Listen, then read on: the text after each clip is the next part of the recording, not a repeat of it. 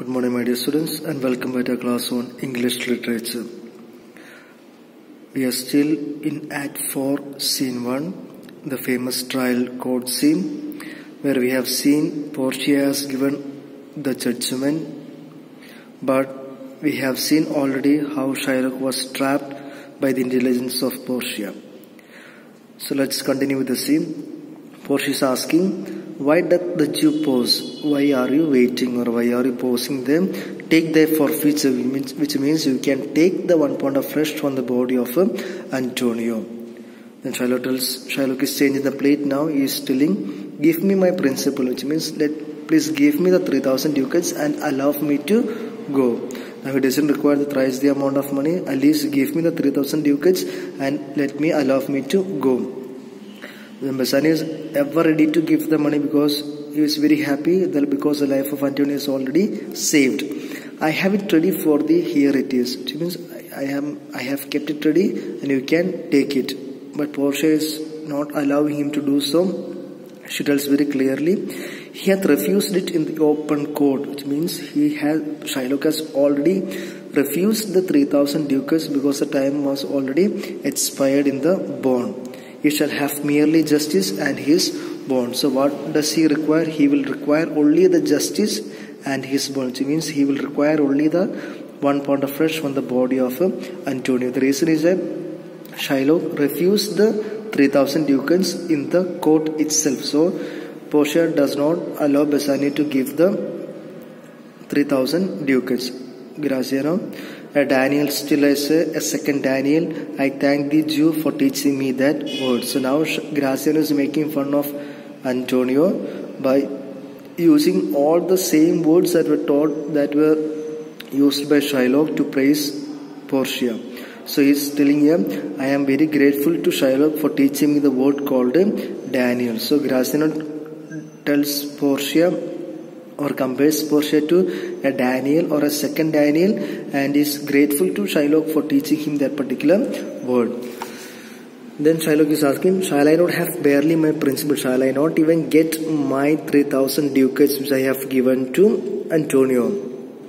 Then Portia tells, thou shalt have nothing, which means you shall have nothing but the forfeiture. Forfeiture referring to the one pound of flesh from the body of Antonio, to be so taken at thy peril. Peril means at your risk. You can take the forfeiture, that the one pound of flesh from the body of Antonio, at your risk due.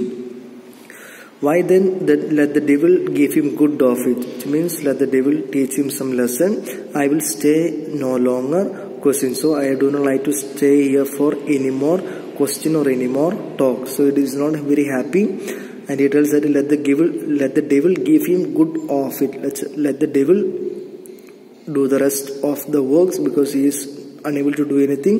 I will stay no longer. Because i do not like to spend any more time here and and i don't i am not interested for any other talk.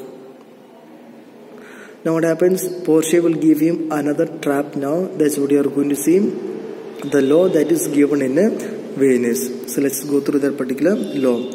Tarry Jew, means wait due. The law hath yet another hold on you. There is another law that is there for you. It is enacted, which means it is given in the laws of Venice, which means it is it is written in the laws of Venice. What is the written? What is the law?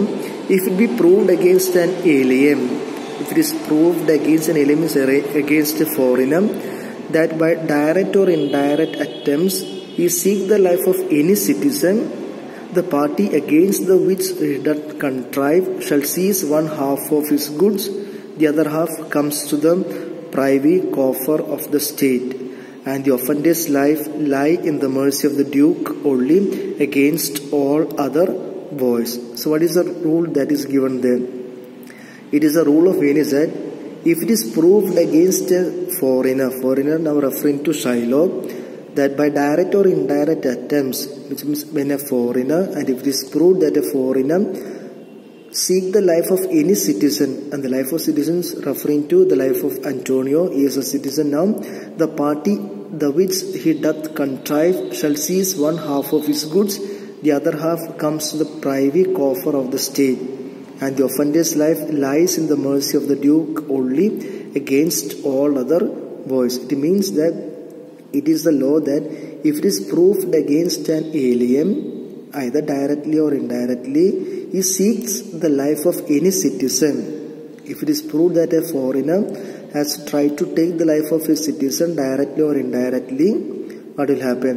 The party again, the party against the which he doth contrive, which means the person against whom the plot was made will get one half of his goods and other half will go to the private treasury of the state. And what will happen to the offender's life? Offender's life means the person who plans everything.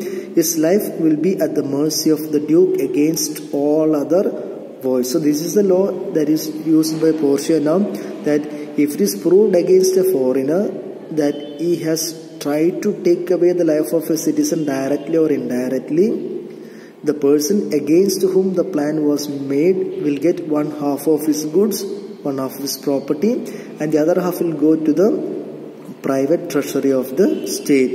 And the life of the person who planned everything will be at the mercy of the duke, will be at the mercy of the duke against all other voice. So this is a law that was told by Portia and we will see in the coming class how it affects the life of Shylock. I hope you are able to understand it. Go through the video once again and try to understand the explanation. And if there is any doubt, you can ask me in the group. Thank you.